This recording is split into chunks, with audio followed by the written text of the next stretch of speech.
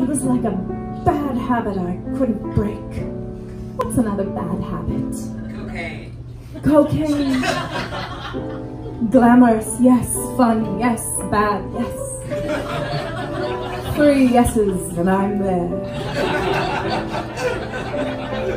You see, Todd was just like cocaine, which is why I wrote this little number just for him.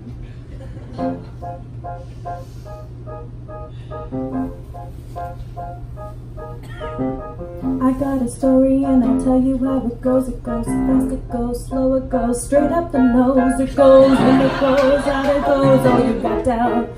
White powdery party and I'm telling you that's how we get started with a little booger sugar and we'll see that it's just gonna get a little bigger. Come to the bathroom with me and let's I went to the bathroom with Todd and I told him I don't wanna have some cocaine tonight. He said, hey, it's alright. He said, I'm pressuring you. Is that clear? I said, that's clear. And he said, that's great. I'm glad I'm being a good communicator. I said, Todd, let's go back out to the main part of this party. And he said, I got a doubt. If you're really cool, you smoke this cocaine. Let's start a party.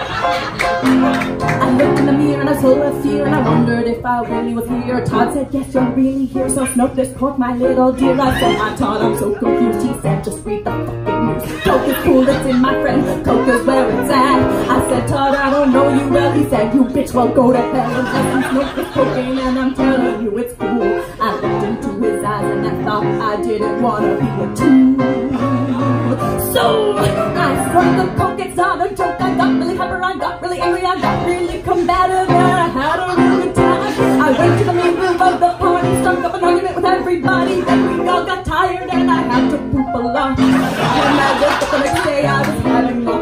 lots. I was feeling sort of shitty, so I did a little coke.